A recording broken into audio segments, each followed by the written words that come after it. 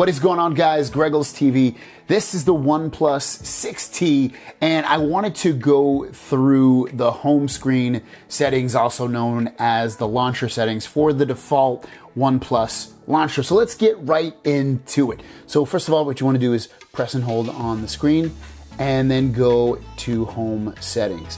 In here, there's tons and tons of settings. So let's talk about all of them. First one, if you have it turned on, it's gonna add, so if you download a new app, um, it's going to automatically down uh, put that icon on your home screen. So if I downloaded an app from Google Play right now, um, it's going to automatically uh, put that app on my home screen. So pretty self-explanatory. Next up is swipe down. Swipe down to access quick settings. If you have it turned on, it basically means you can swipe down from almost anywhere to access your quick settings. If it's off, I wouldn't be able to do that. I'd have to swipe up from the swipe down from the top in order to get to my quick settings. Where it's on, again, you can pretty much swipe down from wherever you are to access it.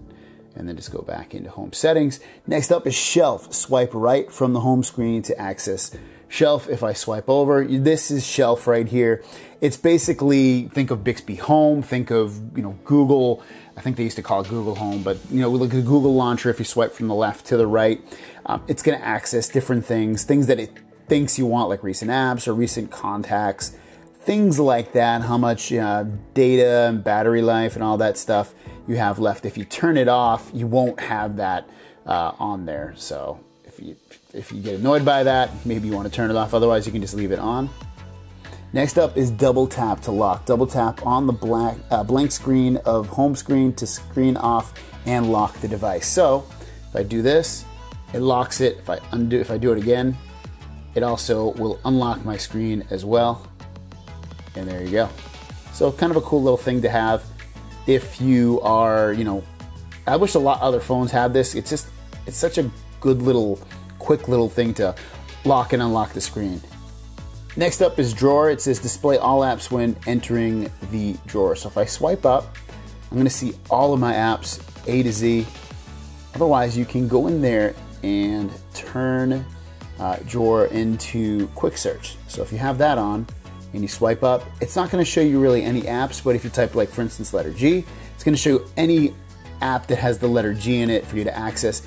I don't like that. I'd rather see all my apps rather than uh, go on and look for them. I think it's a little bit confusing if you end up doing it that way, so I would keep it as all apps. Again, just makes it a little bit easier. Notification dots when you have a notification. Um, think of, you know, iPhone was really, if, at least from what I remember, was one of the original companies to do this. So if you have a uh, notification for Instagram or Facebook or something like that, it would have like a number one or number two or however how many notifications you have. If you have notification dots, turned on right here. If you have it off, you won't see those, you know, numbers. Icon pack, this is going to change the icons. You can see how my icons look now. If I choose like, you know, one of these, you can see they're going to change ever so slightly. Or you can download a pack. So it just gives you a little bit more customization. You can download more as well, uh, different icon packs. And, and this is really nothing new. This is very common customization in Android for, for people to have. And then lastly is home screen layout. In here, you can change it, you know, how big the icons are. And it gives you a preview of what it's gonna look like on your home screen. Obviously, you can move them around if you want. Uh, you can also change the icon size. If you want them smaller or medium size or really, really large, you have that option as well. And that is the home screen settings for uh, the OnePlus 6T, and probably really any other OnePlus phone as well. But regardless, let me know what you think in the comments down below. There's some nice customizations in there, nice control, um, and it's really easy to use. So don't be afraid to go in here and customize some of the stuff. Hopefully my walkthrough helped you. Thanks for watching, and we'll see you guys down the road. Peace!